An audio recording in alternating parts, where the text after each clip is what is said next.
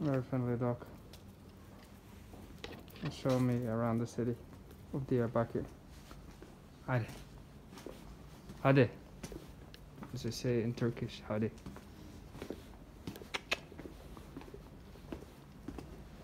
But I don't want to give it false hope for food because I don't have any. Jigar Khan. Um, Jigar is liver. Uh, yesterday the receptionist used Google Translate to write that I should uh, try Jigger. And I know for a fact from I that uh, Jigar is a liver. And they prepare it in all types of uh, ways. Here you can see it. A sort of restaurant for a liver.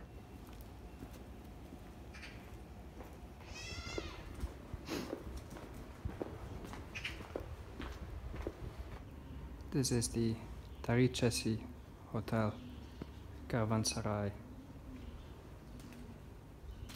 This was an old inn where people on the trade routes and the Silk Road on the way to Syria, Iran, and India came to spend the night and make trade. It was constructed in 1521, so it is 500 years old. It was built in six years. It has 72 rooms, 17 shops, and a stall for the capacity of 800 camels who spend the night here. And have a look at the atmosphere here. Can you imagine parking your camel here, hopping off, having some tea, a nice dinner, and sleeping in one of these rooms in the fresh air under the stars with only candles and nothing else. No Wi Fi, no phone, just some tea and you fall asleep. And it's nice and warm in summer. Next morning you hop on your camel on the way to Syria. I shouldn't romanticize that because often hard labor was involved. It's not fun to sit on a camel from, let's say, Central Europe. Trading with Syria is backbreaking, of course. It's not like you sit in a comfortable uh, car. But the atmosphere remains. Caravanserai Hotel, 500 years old. You can see how thick the walls are. That's not only because of the seismologic activity in the area, perhaps not even at all because of that, but because it traps the heat and keeps out the cold. The temperature inside these rooms is always stable.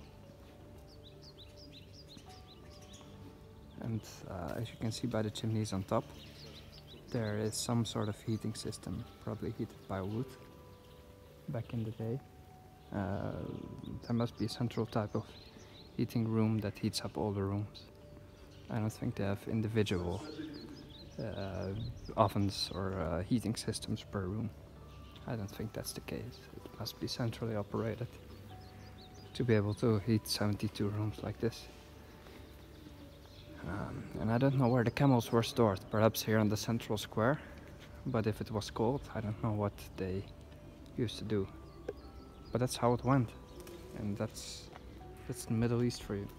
That's quite interesting, if you ask me.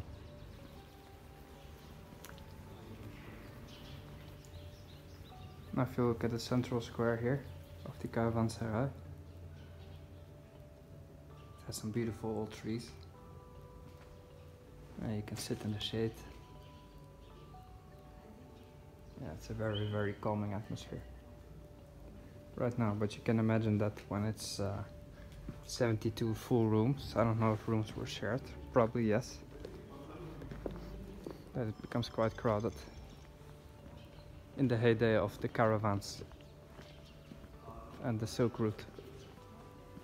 It is very interesting nonetheless.